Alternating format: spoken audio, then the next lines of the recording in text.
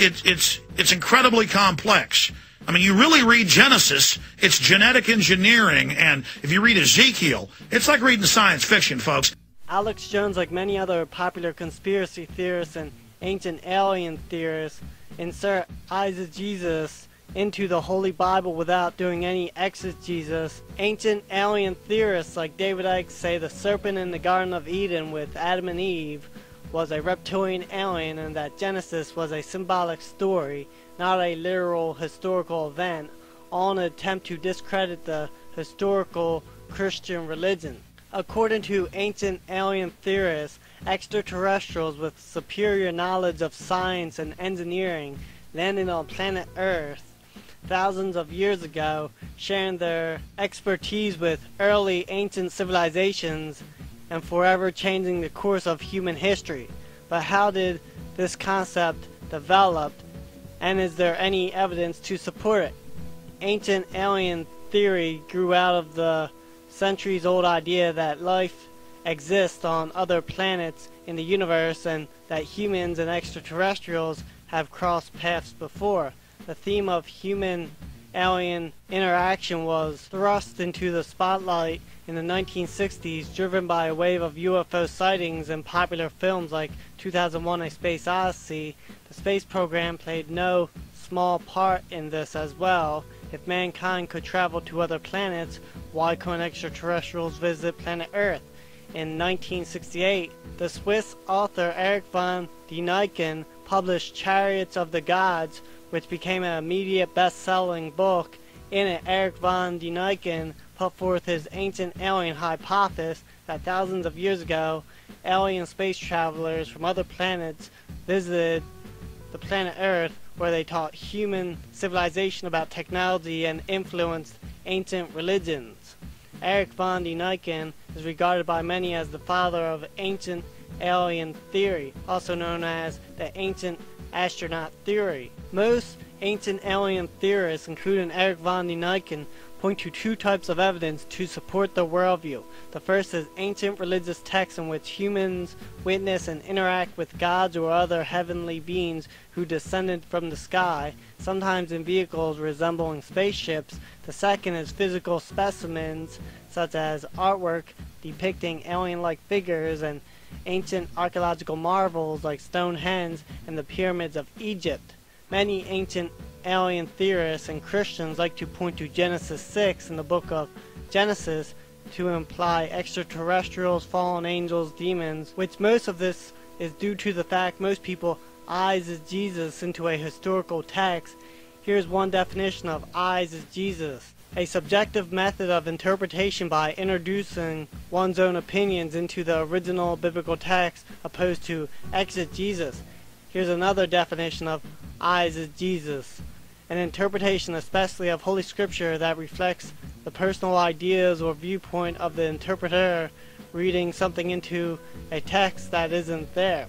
Most Christians who proclaim to be theistic evolutionists or progressive creationists or day-age creationists or old earth creationists, including ancient alien theorists, use the method of eisegesis in their interpretation of Holy Scripture. For example, in the book of Genesis, in the six-day creation narrative, the Hebrew word for day is yom.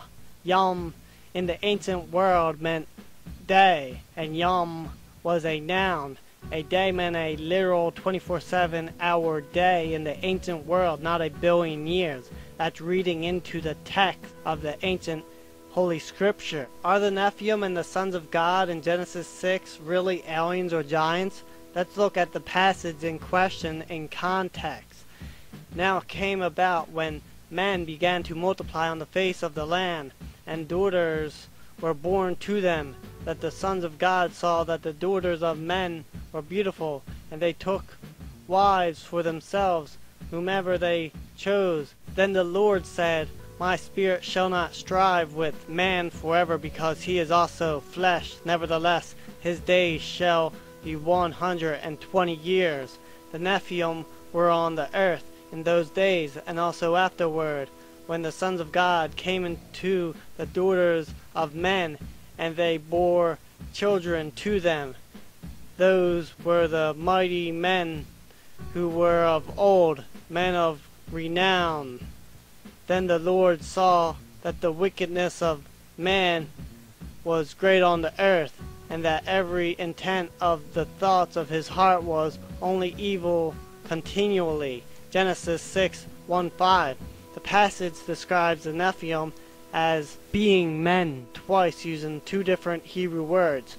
It does not use the Hebrew words used to describe angels. It's pretty obvious from the context that God was not happy about what was going on between the sons of God, the Nephilim, and the daughters of men. Let's go on to examine how other biblical passages use these terms. Unfortunately, the phrase sons of God appears in only five verses from only two books of the Old Testament. Two verses are found in the Genesis 6 flood account. The other three verses are found in the book of Job. From the book of Job, the context clearly indicates that sons of God are angelic beings since they enter directly into God's presence or existed before the creation of the planet Earth.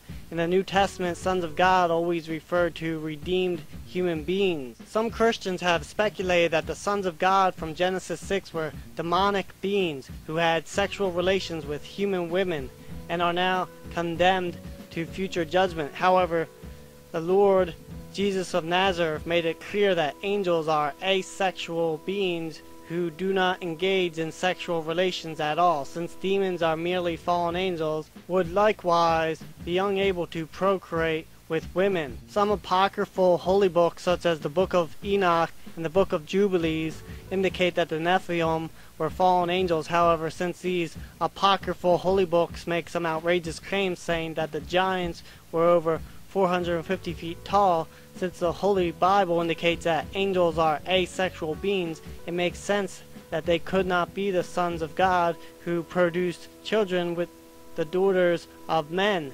The best interpretation is that the sons of God were men who were descended from Seth, who followed the Lord for a time, in contrast to the bloodline of Cain, which produced the daughters of men. However, right before the global flood, even the sons of God took wives among the bloodline of Cain and therefore became corrupted themselves through their unbelieving wives. This is one of the reasons why the Lord God determined to destroy the entire human civilization except for the eight people who still followed the Lord God, like Noah and his extended family. Genesis 6 also describes the Nephilim, who were the corrupt strongmen of their time, notorious for their violent exploits.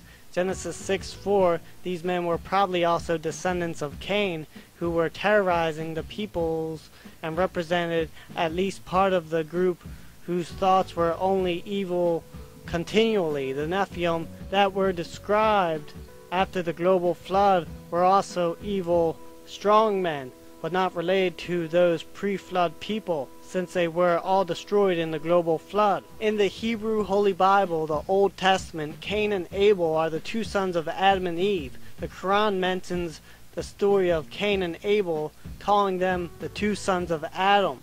In the Greek New Testament, Cain is referred to as from the evil one, while others have of the evil one. Some interpreters take this to mean that Cain was literally the son of the serpent in the Garden of Eden.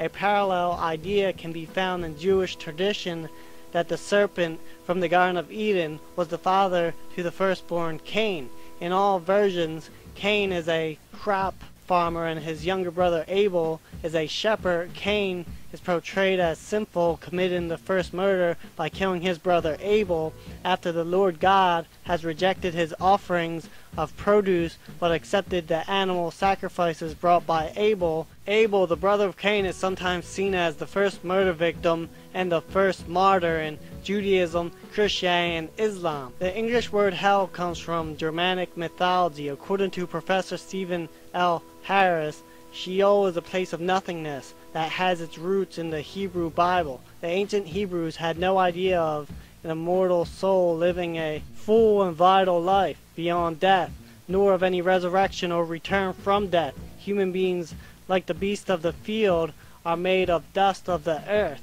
and at death they return to the dust. Genesis 2 7 from the New International Version of the Bible. Then the Lord God formed a man from the dust of the ground and breathed into his nostrils the breath of life, and the man became a living being. The Hebrew word nephesh, traditionally translated living soul, but more properly understood as living creature, is the same word used for all breathing creatures and refers to nothing immortal.